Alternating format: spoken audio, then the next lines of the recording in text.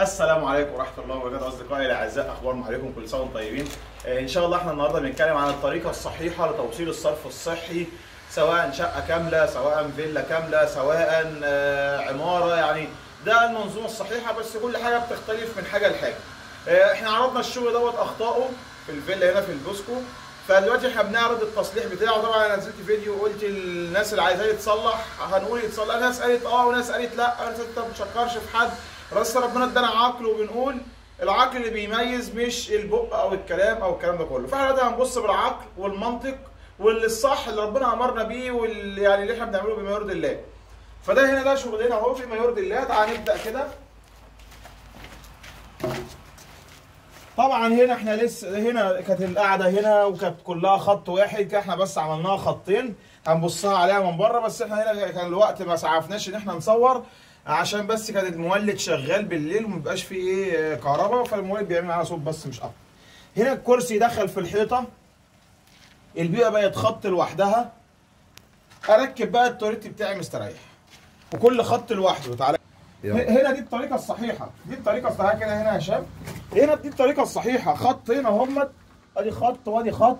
كل خط مختص بذاته خط الخفيف مع الخط الخفيف الخط التقيل على التقيل. مشتركات وهي طبعا الحاجات دي هتشوفوها صور. أنا بس صورناها صور وفيديو سريع كده بس إيه الشغل قبل المونة. أنتوا زي ما أنتم متعودين الحمد لله بيصور شغله قبل المونة. آه، عندي هنا ده برضه هات هنا كده يا هشام. الكوع دخل معايا داخل الحائط هنا أهو. والماسورة لوحدها وماسورة خط لوحده وخط لوحده. مشترك وهي اخد البيئه بتاعتي. طبعا في معايا 10 سم فوق الشرب. هنا جينا أخدنا كوعين مفتوحين. طبعا ما بنحطش الاسمنت لأن هي بتبقى تقل على ال- تع- تظبط الوزن معانا. كعام مفتوحة كل خط خرج لوحده. زي ما حضراتكم شايفين كده بالظبط. تمام كده؟ خش كده المطبخ يا أستاذ هشام.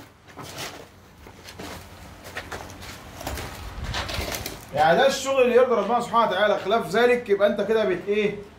تزعل من نفسك. كده خد ال- الأول كانت هنا دي كده كلها مواسير وهنا بيبة كده وكل حاجة رايحة وكانت شبكة كانت شبكة عنكبوتيه كلها داخله في بعضها. كده كل صرف لوحده على بره كل صرف لوحده على بره. اهو طبعا لسه بنظبط الكلام دوت. كل صرف لوحده على بره ال 75 ال- بي ال ال- اللهم صل على الحوض 75 مللي 3 بوصة. كل حاجة على بره. إيه بيبة 75 في 75 جاية في ال corner بتاع ال unit. تعالى بقى نبص بقى على الفن الاحترافي لشغل السباكه الصحية الحديثة أو القديمة. هو ده اللي إحنا اتعلمناه وتعودنا عليه وشغالين عليه. نبص كده من بره. باينه الشمس ولا عاملة؟ بس حلوة كده. هنا دي هنا جبنا هنا غرفة التفتيش أهي.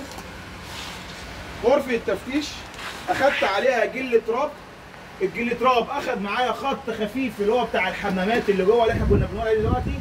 واخد معايا الخط الخفيف اللي جاي من فوق. اللي هو بتاع السكني فوق. العمل نزل عمل لوحده على الغرفة.